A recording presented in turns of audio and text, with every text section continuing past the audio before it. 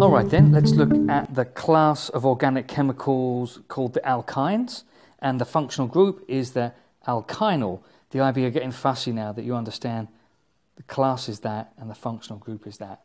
Last, uh, last syllabus, no one cared, but this time they do. Every alkyne must have this alkynyl functional group, which is two carbons with a triple bond in it. So there can't be any methyne because meth implies one carbon and the minimum you need is two. So the first alkyne is ethyne, and you need to know up to six carbons. So that's ethyne, two carbons popped on the hydrogens to make sure that every carbon now has four bonds. Moving on to propyne, well, you might think maybe I need a number there, perhaps calling it one propyne, but you know what? It's, uh, it's unambiguous. There is no two propyne. Let me draw it out and show you it's the same.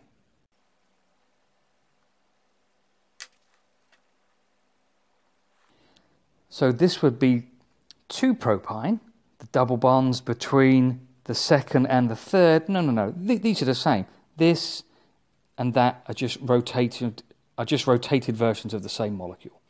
So since it's unambiguous, you can just call it propyne. So four carbons uh, implies bute, and ine is the functional group there. Now again, we're going to have a bit of a problem. This would be one butyne, this would be two butyne, and this would be three butyne. But no, that one's a repetition. The first and the third are just rotations of each other. So since I want to get the lowest number in my name, I'm going to erase that. A common problem is that you get over enthusiastic and you add more hydrogens than are actually needed. Every carbon has got to have four bonds.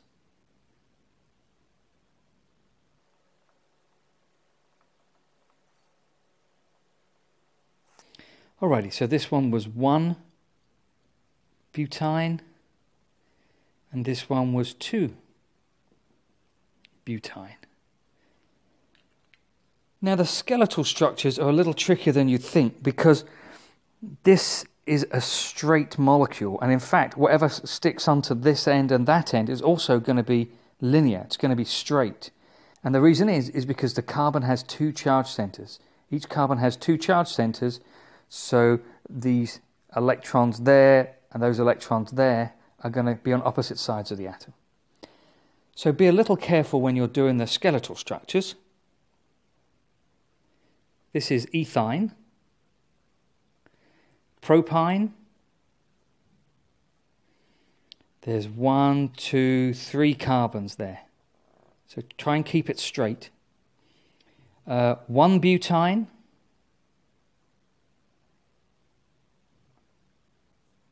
is like that.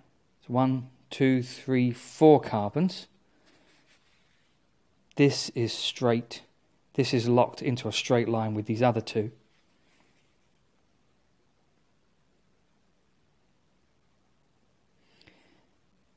And for 2 butyne,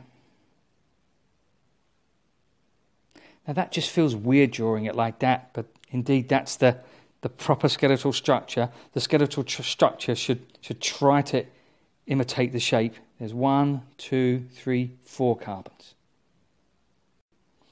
And we have enough information now to try to work out the general formula. And so that's CnH2n minus 2. Now you're expected to know the one with five carbons and the one with six carbons. So, how many linear five carbon alkynes are there? Are there just one, like ethene, or are there more than one, like butene? Answers in the notes below. And what about hexyne? How many different isomers of linear alkyne hexyne are there? Again, answers in the notes. So, what about if the alkynes are branched? How would you go about naming that? So, even to my eye, this looks weird. Uh, we've got one, two, three, four, five carbons in the longest row. So it's going to have to be uh, one, two, three, four, five. Between the second and the third, counting from the left, there's a triple bond. And one, two, three, four. And on the fourth carbon, there appears to be a methyl group. So let me draw in the hydrogens. So, how would I name it? Well, you've got to lock yourself down uh, to the numbering system that gives the triple bond the lowest number. So, one, two, three, it's between the two and the three, so it's going to have to be 2 pentyne because the longest chain is 5, that's pent, and yne is the triple bond. So it's going to be 2 pentyne, but you've still got to tell me about this methyl group. And the methyl group is 1, 2, 3, is on the fourth one.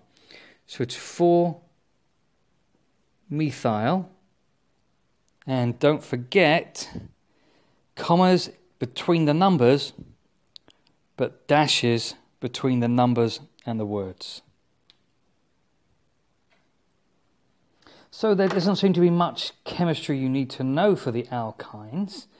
Uh, we can look at combustion.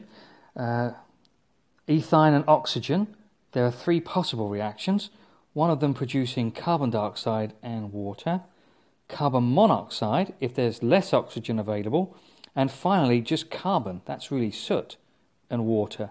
And so that depends on how much oxygen there is. Balancing these out, if this is so two and a half oxygen there, less oxygen, if there's only one and a half oxygen, you're going to get the monoxide. And if there's only half an oxygen, you're going to get the soot. So more oxygen gives more complete combustion. Members of the alkynes tend to burn with a smoky flame in air because they have a high carbon to hydrogen ratio. There's not enough oxygen in the air to completely burn that carbon heavy compound. Ethyne, also known as acetylene, is used in welding torches but notice here that there is no smoke when the ethyne is being burned. And that's because another cylinder of oxygen is used to ensure complete oxidation. So hot is the flame that you can use it to melt metal, either to join metal or to break metal apart. Alkynes are unsaturated. In organic chemistry, this means that there's a carbon-carbon double or carbon-carbon triple bond. In this case, it's the triple bond.